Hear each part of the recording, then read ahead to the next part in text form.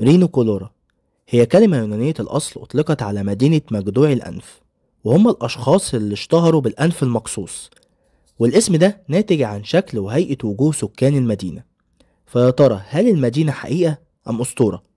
وإيه سبب كسر أنف بعض التماثيل في مصر القديمة؟ أهلا بكم في قناة حكاية أثر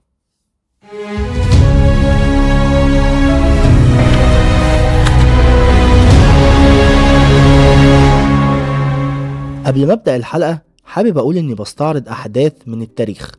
ذكرت في مصادر مختلفة على إيد مؤرخين وباحثين وعلماء. بيختلف البعض حول كونها حقيقة أم أسطورة وخيال. وكل مصادر الحلقات بتكون موجودة في صندوق الوصف لكل حلقة بسيبها لحضراتكم للاطلاع عليها. ودلوقتي يلا نبدأ. مدينة رينو كولورا وهي المدينة التي ذكرها في كتاباته هيرودوت وديودور الصقلي وبعض المؤرخين اليونانيين والرومان واليهود. فمن خلال المصادر ذكر إن في مصر القديمة كان في مدينة ملهاش مثيل أطلق عليها مدينة العقاب. والحقيقة إن اسم المدينة جه من خلال سبب بنائها فبيقال إن الفرعون بناها عشان تكون منفى وسجن يعاقب بيه كل من يرتكب الجرائم والسرقة. والعقاب ده بيكون بعد جدع وقص أنف الشخص المذنب عشان تكون علامة مميزة للفئة دي من الناس.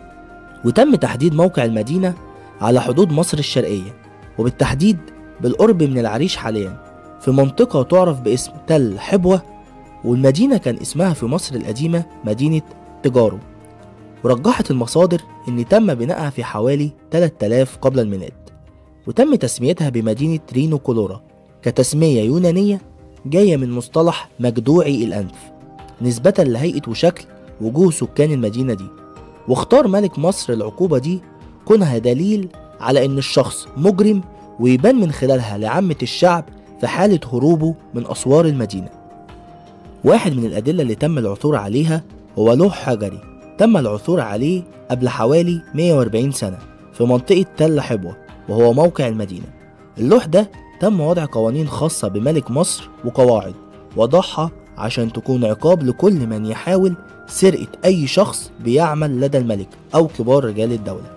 مع تأكيد إن العقاب هيكون جدع الأنف والنفي للمدينة للأبد وبيعود تاريخ اللوح لحوالي 1321 ل 1293 قبل الميلاد. ومن هنا رجح بعض المؤرخين إن تاريخ بناء المدينة بيعود لحوالي 1300 سنة قبل الميلاد في عهد آخر ملوك الأسرة ال 18 حور محب. وذكر هيرودوت إن حور محب عاقب ساكني المدينة ببناء السور العالي كمان الخاص بيها عشان تكون سجن ليهم. وأما عن وصف المدينة ذكرت المصادر إنها كانت بسور بيمتد لحوالي 500 متر وأبراج بيوصل ارتفاعها حوالي 20 متر تقريبا وإن سكانها كانوا بيتغذوا على صيد الأسماك والسمان وبيعتمدوا في مياه الشرب على الآبار الجوفية بسبب ندرة المياه. وذكرت المصادر كمان إن عقوبة جدع الأنف ظلت عقوبة مستمرة بعد حكم الملك لسنوات طويلة وإن المدينة أصبحت بعد فترة زمنية طويلة مدينة بسكانها العاديين. أما أصحاب النظرية المختلفة ذكروا إن عقوبة جدع الأنف كانت عقوبة المتآمرين مع زوجة الملك رمسيس الثالث وكل من ساعدها في ذبح زوجها أثناء نومه مع عدم ذكر نفيهم للمدينة من عدمه. وواحد من الأدلة اللي اعتبرها البعض إنها دليل على وجود المدينة لما أعلنت البعثة المصرية عن اكتشاف آثار بناء قلعة ومدينة في منطقة تل حبوة في سنة 2015 أما اللي ذكره ديودور الصقلي في القرن الأول الميلادي إن كان في مدينة بحرية بتقع على حدود مصر وفلسطين وحدد إنها نفس الموقع بالقرب من العريش وإن كان في ملك أثيوبي اسمه أكتيسانيس قدر إنه يهزم ملك مصر في ذلك الوقت وبنى المدينة في حوالي 5000 قبل الميلاد وقدر إنه يأسسها لنفس السبب وهو سجن المجرمين مجدوعي الأنف فيها. إلا إن بعض الروايات المؤرخين اليونانيين خلفت الرواية دي وذكرت إن المدينة تم تأسيسها على حدود مصر الشرقية عشان تكون مركز تجاري كبير للبضائع اللي جاية من الهند والجزيرة العربية. في تمانينيات القرن التسعة عشر عثر بعض العلماء على آثار عمليات بناء وبقايا أبنية في منطقة تل حبوة. رجح من خلالها العلماء إن المدينة ليست أسطورية وإنها ربما تكون قصة حقيقية وإن ما تم نقله عن المدينة في سنة 30 قبل الميلاد ربما يكون حقيقي بالفعل. أما آخر نظرية فسرت سبب كسر أنف التماثيل في الحضارة المصرية وفسرت كمان أسباب كسر أجزاء مختلفة من التماثيل فبعض الباحثين وعلى رأسهم أمين متحف بروكلين إدوارد بيلبرج.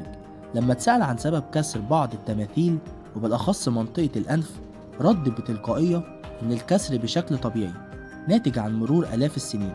وإنه ناتج عن عمليات استخراج التماثيل من الحفاير أو نتيجة لعوامل مختلفة وعوامل طبيعية.